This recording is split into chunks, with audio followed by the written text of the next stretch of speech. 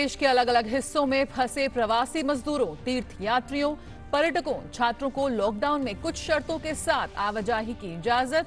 राज्यों को प्रोटोकॉल का पालन करते हुए एक दूसरे से संपर्क कर आवाजाही करनी होगी सुनिश्चित। गृह मंत्रालय ने की देश भर में कोविड 19 की ताज़ा स्थिति की समीक्षा, कहा तीन मई तक लॉकडाउन का सख्ती से करना होगा पालन। चार मई से लागू होंगे नए दिशा निर्देश, जिससे कई जिलों को मिलेगी राहत।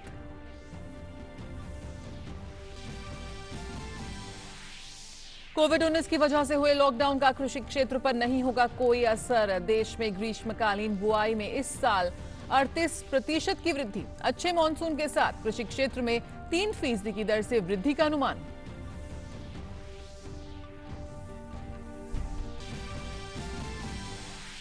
देश में कोरोना संक्रमण की रफ्तार में आई कमी। पिछले कुछ दिनों में कोरोना के मामले दोगुने होने की दर ग्यारह दशमलव तीन दिन। वैश्विक स्तर पर मृत्यु दर सात फ़ीसदी है, जबकि भारत में ये दर तीन प्रतिशत।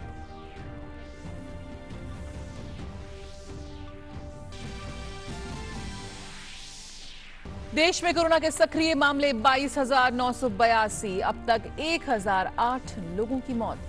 सात हज़ार सात सौ छियानवे मरीज़ हो चुके हैं, ठीक केंद्र सरकार ने अपने सभी अधिकारियों, कर्मचारियों, सरकार के आउटसोर्स्ड स्टाफ को मोबाइल फ़ोन पर आरोग्य ऐप, आरोग्य सेतु ऐप तुरंत डाउनलोड करने को कहा। दुनिया भर में कोरोना से करीब इकतीस लाख नब्बे हज़ार लोग संक्रमित, मरने वालों का आंकड़ा दो लाख सत्ताईस हज़ार के पार। अमेरिका में साठ हज़ार आठ सौ से ज़्यादा की मौत, लेकिन वहाँ रेमडेसिविर दवा से जागी नई उम्मीद। सबसे ज़्यादा प्रभावित देशों की सूची में स्पेन, इटली और फ्रांस भी शामिल।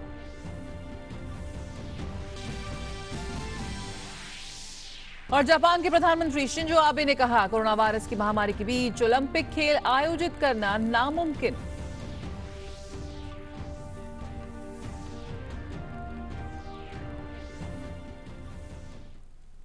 नमस्कार, समाचारों में आप सभी का बहुत बहुत स्वागत है। मैं हूँ जया सिन्हा, शुरुआत करेंगे इस वक्त की अहम खबरों के साथ। लॉकडाउन के दौरान देश के विभिन्न हिस्सों में फंसे प्रवासी मजदूर, पर्यटक, छात्रों और अन्य लोगों को लेकर गृह मंत्रालय ने बड़ा फैसला लिया है।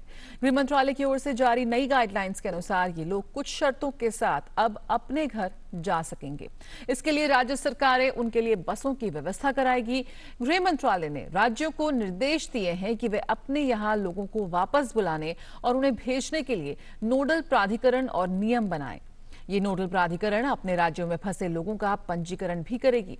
गृह मंत्रालय की नई गाइडलाइंस के मुताबिक अगर किसी राज्य में फंसा कोई व्यक्ति दूसरे राज्य में जाना चाह रहा है तो इसके लिए दोनों राज्यों की सरकारें आपस में बातचीत कर उपयुक्त कदम उठाएँ। लोगों को सड़क के रास्ते ले जाया जाए। लोगों को भेजने से पहले सभी की मेडिकल जाँच, यानी कि स्क्रीनिंग की जाए। अगर कोरोना वायरस संक्रमण का कोई लक्षण नहीं पाया जाए तो उन्हें जाने की अनुमति दी जाए। गंतव्य स्थान पहुँचने पर सबसे पहले स्वास्थ्य विभाग की टीम को उनकी जाँच करनी होगी। इसके बाद उन्हें घरों में पृथक रहना होगा। हालात के अनुसार अगर ज़रूरत हो तो उन्हें क्वारंटीन सेंटर में भी रखा जा सकता है। इन सभी लोगों की समय समय पर मेडिकल जाँच की जाएगी। आरोग्य सेतु ऐप से इनकी स्वास्थ्य स्थिति की निगरानी रखी जाएगी और ज़रूरत पड़ने पर उनका पता लगाया जा सकेगा। और लॉकडाउन के चलते कोविड 19 से निपटने में देश बेहतर स्थिति में है। इस बीच गृह मंत्रालय में लॉकडाउन को लेकर उच्च स्तरीय बैठक की गई। इस बैठक में लॉकडाउन की स्थिति की बारीकी से समीक्षा की गई, जिसमें यह पाया गया कि देश में लॉकडाउन के चलते कोरोना से मुकाबले में काफ़ी फ़ायदा हुआ है। इसको देखते हुए तीन मई तक देश में जारी लॉकडाउन का सख्ती से पालन होना बेहद ज़रूरी है। इसके साथ ही इस बैठक में इस बात पर भी चर्चा हुई कि केंद्र आगे के लिए नए विस्तृत दिशा निर्देश जारी करेगा, जो कि चार चार मई से प्रभावी होगा। इस नए दिशा निर्देशों में कई जिलों और क्षेत्रों को छूट मिलने की संभावना है। पिछला विस्तृत दिशा निर्देश 15 अप्रैल को जारी किया गया था, जिसमें बाद में कई अहम चीज़ें भी जोड़ी गई थी। और हमारे साथ इस वक्त और जानकारी के साथ जुड़ रहे हैं संवाददाता सुधाकर दास। सुधाकर सबसे पहले बात प्रवासी मजदूरों की या फिर उन लोगों की जो इस वक्त कई जगहों पर फंसे हुए हैं। एक बड़ी राहत यहाँ पर आई है उनके सामने। आ, किस तरह से ये मुमकिन हो पाएगा कि वो तमाम जो लोग हैं वो अपने घर पहुँच पाए? जी देखिए, जया, अगर लॉकडाउन में अगर कोई सबसे बड़ा मुद्दा था, कोई सबसे बड़ी चुनौती थी तो ये प्रवासी मजदूर या कहीं जहाँ तहां लोग जो फंसे हुए हैं उनकी बात थी। राज्यों की भी लगातार मांग थी और केंद्र ने भी इस स्थिति को समझा। और इस लिहाज से ये बड़ा फैसला केंद्र की तरफ़ से किया गया है कि ये जो फंसे हुए प्रवासी मजदूर हैं या तमाम अन्य लोग हैं, स्टूडेंट्स हैं टूरिस्ट हैं वो अपने राज्यों को लौट सके इसके लिए व्यवस्था की जा सकती है और राज्य सरकारें इसके लिए व्यवस्था करेंगे। और निश्चित तौर पर आपने जो जानकारी दी एक प्रोटोकॉल तय करना पड़ेगा राज्य सरकारों को बनाना पड़ेगा सोशल डिस्टेंसिंग के साथ हाइजीन के नॉर्म्स को फॉलो करते हुए मेडिकल स्क्रीनिंग के साथ कैसे इनको इनके वापसी की व्यवस्था की जाए। क्योंकि ऐसी संख्या हज़ारों लाखों में ऐसे लोग हैं एक आ, कह सकते हैं सिस्टमेटिक तरीके से इनके वापसी की कोशिश करनी पड़ेगी। चाहे उनका रजिस्ट्रेशन करके किया जाए नोडल ऑफिसर्स के ज़रिए और बारी बारी से लोगों को वापस लाने क्योंकि लोगों को ये भी बताना पड़ेगा कि एक ही दिन में तमाम लोग वापस नहीं आ पाएँगे। तो उस तरह की तमाम चीज़ों को देखना पड़ेगा और इसके लिए राज्यों का आपस में भी कोऑर्डिनेशन होना बहुत ज़रूरी है। तो ये बेहद महत्वपूर्ण विषय रहेगा और इसमें थोड़ा सा वक्त लग सकता है। अगले हफ़्ते दस दिन महत्वपूर्ण रहेंगे लेकिन ये एक संकेत ये भी है इसका कि ये जो लॉकडाउन की स्थितियाँ खासतौर से जो रेड जोन वाले इलाके हैं और इस तरह के जो ज़्यादा प्रभावित इलाके हैं वहाँ फ़िलहाल ढिलाई की किसी तरह की कोई ज़रूरत नहीं है। पूरी सख्ती बरतनी पड़ेगी राज्य सरकारों बिल्कुल तो सख्ती बरतनी होगी और तमाम सावधानियों का ध्यान रखना होगा कि किस तरह से तमाम लोग हैं इसमें छात्र हैं प्रवासी मजदूर हैं सैलानी हैं जो कि विभिन्न जगहों पर फंसे हुए हैं। साथ ही साथ जिस तरह से सुधाकर कल जो गृह मंत्रालय की एक बैठक हुई जिसमें बहुत ही कड़ी निगरानी रखी जा रही है लगातार जिस तरह से लॉकडाउन को लेकर उसकी समीक्षा की गई। हम देख रहे हैं कि कोरोना संक्रमण की जो रफ्तार है, वो धीमी पड़ रही है इस वक्त भारत में और इसका साफ़ तौर पर ये निकल कर आता है कि जो लॉकडाउन यानी कि सही समय पर जो सही फैसला लिया गया, उसका असर यहाँ पर जमीनी स्तर पर दिख रहा है। किस तरह से उम्मीद की जा सकती है कि आगे जो नई गाइडलाइंस भी जारी करने की बात की गई है? अच्छा बिल्कुल। देखिए दो चीज़ें बहुत महत्वपूर्ण ऐलान किया गया कि जो दूसरा कंसोलिडेटेड गाइडलाइन है, जो 15 अप्रैल को पहला इससे पहले जारी किया गया था, दूसरा, ये जल्द ही अगले दो दिनों में जारी किया जाएगा जो चार मई से प्रभावी होगा। लेकिन उससे भी ज़्यादा महत्वपूर्ण बात ये है उसमें साफ़ तौर पर सीधे तौर पर कहा गया है कि जो नए इलाके हैं, नए ज़िले हैं उसको एक कंसिडरेबल रिलैक्सेशन मिल सकता है और ज़्यादा छूट मिल सकती है। यानी वहाँ जो दिनचर्या है, वहाँ जो इंडस्ट्री है वहाँ जो कामकाज हो उसको ज़्यादा खोला जा सकता है। देखिए, प्रधानमंत्री ने भी राज्यों के मुख्यमंत्रियों से जब बात की थी, वो संकेत उन्होंने दिया भी था कि जो खासतौर से ग्रीन जोन है वहाँ जनजीवन बेहतर तरीके से चले, उसकी बात की जा सकती है। और ऐसे 300 से भी ज़्यादा ज़िले हैं, और ऐसे जिलों में अगर ज़्यादा से ज़्यादा एक्टिविटीज़ को चलाने की छूट मिलती है तो निश्चित तौर पर न सिर्फ़ वहाँ के स्थानीय लोगों के लिए, बल्कि पूरे देश के लिए और अर्थव्यवस्था के लिहाज से भी ये काफ़ी महत्वपूर्ण फैसला रहेगा। लेकिन निश्चित तौर पर अभी भी containment zone red zone hotspot zone वहाँ सख्ती रखने की, बरतने की ज़रूरत है, ये संदेश संकेत भी गृह मंत्रालय ने साफ़ तौर पर दिया है। जी शुक्रिया बहुत बहुत सुधाकर इस जानकारी से के लिए। हमें देने के लिए। और खबरों में आगे बढ़ें तो स्वास्थ्य मंत्रालय की ओर से दी जा रही जानकारी के मुताबिक भारत में इस वक्त कोरोना वायरस से कुल इकतीस हज़ार सात सौ सत्तासी संक्रमित हैं, जिनमें से बाईस हज़ार नौ सौ बयासी केस एक्टिव यानी कि सक्रिय हैं। सात हज़ार सात सौ छियानवे मरीज़ संक्रमण से मुक्त होकर अस्पताल से घर लौट चुके हैं, जबकि मौत का आंकड़ा एक हज़ार आठ है। फ़िलहाल तीन मई तक लॉकडाउन का दूसरा चरण है और सरकार लगातार लोगों से कह रही है कि वो अपने घरों पर रहे ताकि कोरोना वायरस के संक्रमण का फैलाव रोका जा सके। ताज़ा स्थिति कोरोना की भारत में। इस वक्त आप अपने स्क्रीन पर देख रहे हैं। इकतीस हज़ार सात सौ सत्तासी कुल मामले हैं, लेकिन जो सक्रिय मामले हैं वो बाईस हज़ार नौ सौ बयासी ही हैं। और इसमें भी हम बता दें कि सात हज़ार सात सौ छियानवे लोग इस वक्त पूर्णतः स्वस्थ हो चुके हैं, ठीक होके अपने घर जा चुके हैं। उन्होंने कोरोना को हराया है और यही संदेश वो हम सभी को दे रहे हैं। और केंद्र सरकार ने अपने सभी अधिकारियों और केंद्र सरकार के अंतर्गत काम करने वाले आउटसोर्स सहित सभी कर्मचारियों को अपने मोबाइल पर तुरंत आरोग्य सेतु ऐप डाउनलोड करने को कहा है। सरकार ने कहा कि आरोग्य सेतु मोबाइल ऐप में अपनी स्थिति की समीक्षा करने और सुरक्षित और कम खतरा दिखाने पर ही अधिकारी और कर्मचारी काम कर, काम पर आए। केंद्र सरकार ने कहा कि अगर ऐप में स्थिति मॉडरेट या हाई रिस्क आए तो अधिकारी और कर्मचारी को कार्यालय नहीं आना चाहिए। इसके साथ ही व्यक्ति 14 दिनों या स्थिति सेफ़ या कम खतरा दर्शाने तक सेल्फ आइसोलेट करे। संयुक्त सचिव प्रशासन को अपने मंत्रालय या विभाग में इन निर्देशों का पालन सुनिश्चित करने के लिए कहा गया है। तो आप सभी अपने मोबाइल्स पर आरोग्य सेतु ऐप ज़रूर डाउनलोड करें। और देश में कोरोना वायरस महामारी से निपटने के लिए देश भर में तीन मई तक लॉकडाउन है, जिसकी वजह से कई राज्यों में श्रमिक और छात्र फंसे हुए हैं। इस समस्या के मद्देनजर देश के गृह मंत्रालय ने नई गाइडलाइंस जारी कर दी हैं।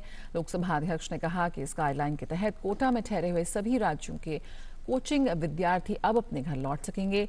उन्होंने विश्वास जताया कि केंद्र सरकार द्वारा जारी गाइडलाइंस का पालन कर राज्य सरकारें अपना प्रोटोकॉल तय करते हुए जल्द ही सभी वर्गों को अपने अपने घरों में भेजने की व्यवस्था करेंगी। इसके साथ ही उन्होंने कहा कि लॉकडाउन के कारण संसदीय क्षेत्र कोटा ही नहीं, अपितु प्रदेश व देश भर में विभिन्न राज्यों में रह रहे विद्यार्थियों, प्रवासी श्रमिकों, पर्यटकों की घर वापसी होगी।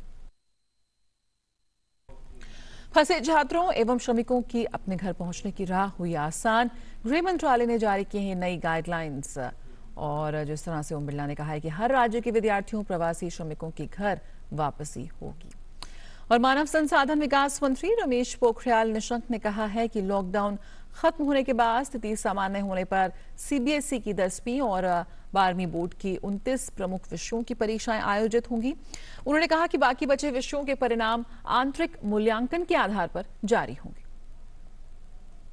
सीबीएसई की परीक्षाएँ जो रुकी हुई हैं, उन रुकी हुई परीक्षाओं को जैसे ही स्थिति सामान्य होगी, उन परीक्षाओं को कराया जाएगा। और यदि ऐसा लगेगा कि और आगे और कठिनाइयों ने आना है तो तीन तारीख, तीन मई के बाद क्या परिस्थितियाँ होती हैं, उसके बाद बाद में विचार किया जाएगा। लेकिन अभी तक सीबीएसई की 83 परीक्षाएँ शेष हैं, जिसमें से 29 परीक्षाएँ मूलता हैं। तो जो 29 परीक्षाएँ मूल हैं, हम उन्हीं मूल परीक्षाओं को 29 परीक्षाओं को ही कराएँगे। और यूएई में भारतीय मिशन ने कोरोना के कारण स्वदेश वापसी के इच्छुक भारतीय नागरिकों से ई रजिस्टर करवाने के लिए कहा है।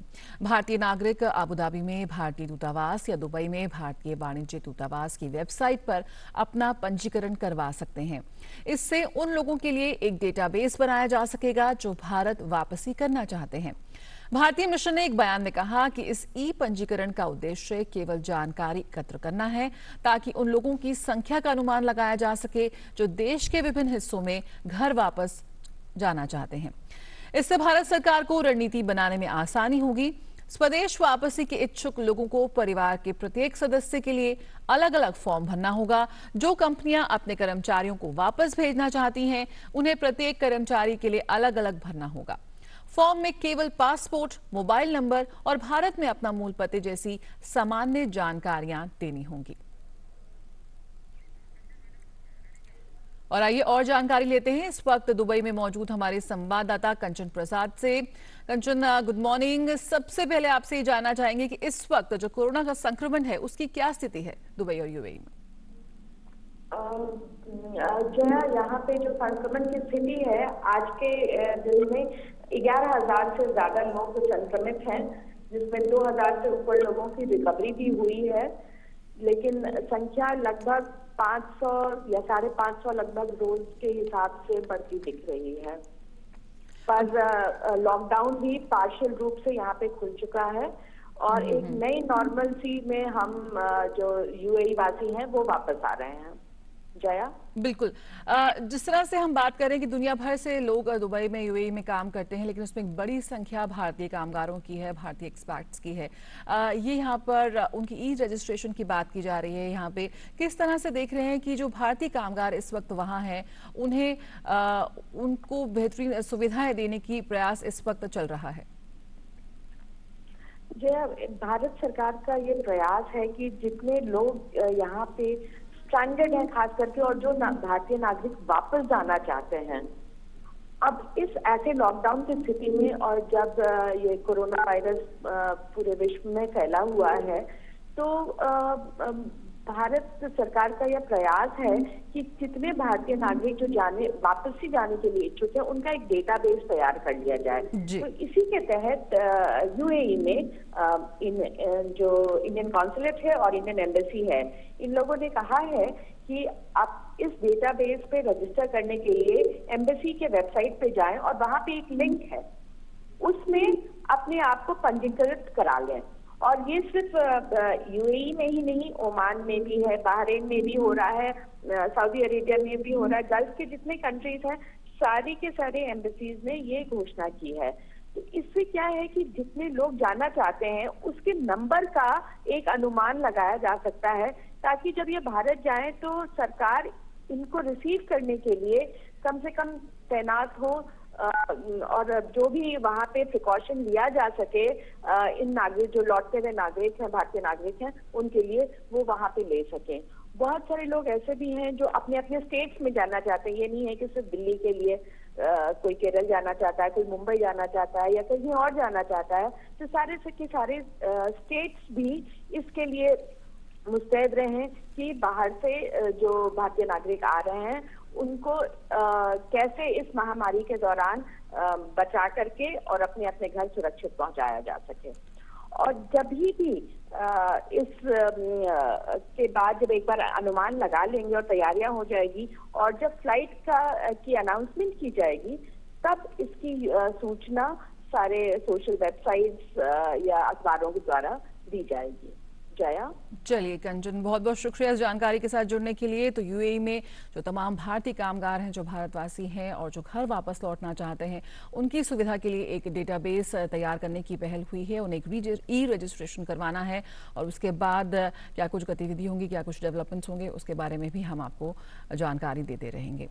और प्रधानमंत्री नरेंद्र मोदी ने बांग्लादेश की प्रधानमंत्री शेख हसीना के साथ टेलीफोन पर बातचीत की। साथ ही दोनों नेताओं ने कोविड 19 महामारी के कारण उत्पन्न क्षेत्रीय हालात पर चर्चा की और उसके प्रभाव को कम करने के लिए अपने अपने देश में उठाए जा रहे कदमों से एक दूसरे को अवगत कराया। इसके साथ ही प्रधानमंत्री मोदी ने रमज़ान के पवित्र महीने के अवसर पर भारत की जनता और स्वयं अपनी ओर से बांग्लादेश की प्रधानमंत्री शेख हसीना और बांग्लादेश की जनता को बधाई दी। वहीं दोनों नेताओं ने सार्क के सदस्य देशों के नेताओं के इस बीच 15 मार्च को सहमत विशेष व्यवस्थाओं को लागू करने की दिशा में हुई प्रगति पर प्रसन्नता व्यक्त की। साथ ही पीएम मोदी ने कोविड 19 को फैलने से रोकने और इस महामारी के स्वास्थ्य और आर्थिक प्रभावों को कम करने में बांग्लादेश की मदद करने के लिए भारत की तत्परता सुनिश्चित की। इस बीच भाजपा अध्यक्ष जगत प्रकाश नड्डा ने वीडियो कॉन्फ्रेंसिंग के माध्यम से नॉर्थ ईस्ट के विधायकों से कोविड 19 से जुड़े कई मुद्दों पर चर्चा की। उन्होंने इस वायरस से निपटने के लिए किए जा रहे विभिन्न क्षेत्रों में राहत कार्यों की प्रशंसा की।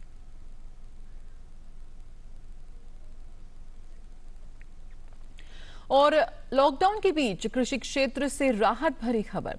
देश में अन्न की कोई कमी नहीं है और इस साल भी फ़सल अच्छी होगी और लक्ष्य से अधिक उत्पादन होने की उम्मीद है। जीडीपी में कृषि का योगदान तीन दशमलव सात फ़ीसदी था और सरकार को आशा है कि आने वाले वक्त में भी ये प्रभावित नहीं होगा। कोविड 19 की वजह से देश में चल रहे लॉकडाउन के बीच कृषि क्षेत्र से राहत भरी खबर है। देश में कृषि क्षेत्र और रबी फ़सल उत्पादन के बारे में एक प्रेस कॉन्फ्रेंस में जानकारी देते हुए केंद्रीय कृषि एवं किसान कल्याण मंत्री नरेंद्र सिंह तोमर ने कहा कि कृषि का क्षेत्र लगातार आगे बढ़ रहा है। जीडीपी में कृषि का योगदान तीन दशमलव सात फ़ीसदी था और सरकार को आशा है कि आने वाले वक्त में भी यह प्रभावित नहीं होगा। सामान्य तौर पर जीडीपी की बात होती है तो जीडीपी में भी कृषि के क्षेत्र का योगदान 3.7 परसेंट रहा। और मुझे पूरा विश्वास है कि आने वाले कल में भी ये बहुत प्रभावित नहीं होगा। सरकार समय समय पर लगातार इस बात का प्रयत्न करती रही है कि सरकार के खजाने का जो पैसा है भिन्न भिन्न योजनाओं के लिए किसान और कृषि दोनों की मदद के लिए उपलब्ध रहे। कृषि मंत्री ने कहा कि सरकार की यह कोशिश रही है कि खजाने का पैसा किसान और कृषि के लिए उपलब्ध रहे। पीएम फ़सल बीमा योजना किसानों का एक बड़ा कवच है। इस योजना में पूर्वोत्तर राज्यों के किसानों को 90 फ़ीसदी प्रीमियम सब्सिडी दी जा रही है। 20 लाख किसानों के केसीसी स्वीकृत किए गए हैं। प्रधानमंत्री नरेंद्र मोदी ने पिछले दिनों किसान सम्मान निधि योजना की शुरुआत की थी, जिसके ज़रिए अब तक कुल इकहत्तर हज़ार करोड़ रुपए दिए गए हैं, जिनमें से सिर्फ़ लॉकडाउन के दौरान ही सत्रह हज़ार नौ सौ छियासी करोड़ रुपए किसानों के खाते में ट्रांसफ़र किए जा चुके हैं। किसानों के खाते में इकहत्तर हज़ार करोड़ रुपए की रकम को अंतरित किया गया है। किसानों की संख्या नौ दशमलव उनतालीस करोड़ है। और अभी पिछले दिनों में इसी वर्ष में अगर हम देखेंगे 24 मार्च से लेकर अभी तो यह संख्या जो है सत्रह हज़ार नौ सौ छियासी करोड़ रुपया होती है। कृषि मंत्री ने कहा कि सरकार देश के किसानों को धन्यवाद देना चाहती है क्योंकि लॉकडाउन के बावजूद उन्होंने ज़्यादा बुआई करके देश में अन्न की कोई कमी नहीं होने दी। आने वाले कल में भी अगर हम देखेंगे तो ध्यान में आएगा कि जो मौसम का अनुमान है, उसको दृष्टिगत रखते हुए आने वाली फ़सल भी अच्छी होगी, यह विश्वास पूर्वक कहा जा सकता है। दलहन का उत्पादन भी 14-15 में 17.20 मिलियन टन था, अब 23 मिलियन टन हो गया है। सरकार के द्वारा दी गई जानकारी के मुताबिक इस साल भी फ़सल अच्छी होगी और लक्ष्य से अधिक उत्पादन होने की उम्मीद है। खास बात यह भी है कि दलहन के उत्पादन और बागवानी के क्षेत्र में भी प्रगति हुई है। दलहन की कटाई पूरी हो चुकी है, जबकि गेहूँ की कटाई अट्ठासी फ़ीसदी हो चुकी है। लॉकडाउन में किसानों को काफ़ी छूट दी गई है और कृषि क्षेत्र ने मजबूती से अपनी भूमिका निभाई है, जिसकी वजह से कृषि उत्पाद और किसी भी तरह की चीज़ों की कोई कमी नहीं है। इस दौरान डिजिटल उपयोग को भी बढ़ावा दिया जा रहा है। ई नाम के तहत देश भर में पहले पाँच मंडियाँ जुड़ी हुई थी, जिनमें अब सौ और मंडियाँ जोड़ी गई है। इसे बढ़ाकर जल्दी ही एक हज़ार मंडी तक करने पर काम चल रहा है। धीरज कुमार के साथ ब्यूरो रिपोर्ट डीडी न्यूज़। विज्ञान और प्रौद्योगिकी विभाग और इसके विभिन्न स्वायत्त संस्थानों ने कोविड 19 महामारी से उत्पन्न अनुसंधान और विकास और नवाचार संबंधी चुनौतियों का समाधान करने के लिए कुछ महत्वपूर्ण प्रयास किए हैं। संवाददाता तपस भट्टाचार्य ने विज्ञान और प्रौद्योगिकी विभाग के सचिव प्रोफेसर आशुतोष शर्मा से की खास बात। इस वक्त मेरे साथ मौजूद है डीएसटी सेक्रेटरी प्रोफेसर आशुतोष, जो बताएँगे कि क्या क्या स्टेप्स लिए जा रहे हैं कोविड 19 के खिलाफ इस जंग में। कोरोना वायरस की प्रॉब्लम है, ये बहुत बहुआयामी प्रॉब्लम है। तो इसके अंदर हर चीज़ है, इसमें डायग्नोस्टिक्स है, इसके अंदर वैक्सीन है, इसके अंदर ड्रग डिस्कवरी है इसके अंदर मैनेजिंग है। फॉर एग्जांपल डिसइनफेक्टेंट हमारे पास सही होने चाहिए वेंटिलेटर सही तरह के होने चाहिए। तो ये सभी इसके अंदर सम्मिलित हैं। तो क्योंकि डीएसटी एक सबसे बड़ा गवर्नमेंट का डिपार्टमेंट है जो कि रिसर्च रिसर्च डेवलपमेंट और इनोवेशन को सपोर्ट करता है सभी जगह। चाहे वो यूनिवर्सिटी हो आईआईटी हो एनजीओज हों चाहे वो इंक्यूबेटर या स्टार्टअप हो या इंडस्ट्री हो, जो कि इंडिजिनस टेक्नोलॉजी को यूज़ करती है। तो ये सब इनको साथ लेके चलते हुए हमने बहुत सारा कार्य शुरू किया है हर तरह का। तो जैसे कि एक एग्ज़ाम्पल है कि Shri Chitra institute of medical science and technology Thiruvananthapuram में एक नया डायग्नोस्टिक किट बनाया गया। तो ये डायग्नोस्टिक किट जो है वो दुनिया में अलग तरह का है, बिल्कुल नए तरह का है। इसके द्वारा करीब कीमत दस गुनी कम हो जाएगी और टाइम ऑफ़ टेस्टिंग जो है, वो भी दस गुना तेज़ हो जाएगा। तो इसके द्वारा बहुत सारे जल्दी जल्दी जो हमें टेस्ट की आवश्यकता जब भी होगी तो वो किए जा सकेंगे। तो एक उदाहरण है उसमें चार साल पहले एक टेक्नोलॉजी रिसर्च सेंटर वहाँ बनाया गया था, सौ करोड़ के इन्वेस्टमेंट से। तो वो इस पर कार्य कर रहे थे कि रैपिड टीबी डायग्नोसिस के बारे में कार्य कर रहे थे, जो कि समस्या है विश्व में कंट्री में। और अब आइए देख लेते हैं कि विश्व भर में कोरोना वायरस को लेकर क्या कुछ हाल है। दुनिया भर में सबसे अधिक अमेरिका को प्रभावित किया है कोरोना वायरस ने। कोविड 19 से गंभीर रूप से जूझ रहे अमेरिका में इसके संक्रमण से साठ हज़ार से अधिक लोगों की मौत हो चुकी है। अमेरिका में यह महामारी गंभीर रूप धारण कर चुकी है। जॉन हॉपकिंस के ताज़ा आंकड़ों के मुताबिक अमेरिका में कोरोना वायरस से मरने वालों का संख्या साठ हो गई है, जबकि इससे संक्रमित लोगों की संख्या दस लाख का आंकड़ा पार कर दस लाख सैंतीस हज़ार नौ सौ सत्तर हो गई है। लेकिन इस बीच इम्यूनोलॉजिस्ट डॉक्टर फॉसी ने कोविड 19 के संभावित उपचार के लिए रेमडेसिविर दवा के प्रति उम्मीद जताई है और कहा है कि इसका चिकित्सकीय परीक्षण दिखाता है कि यह दवा रिकवरी में आ, काफ़ी प्रभावी साबित हुई है।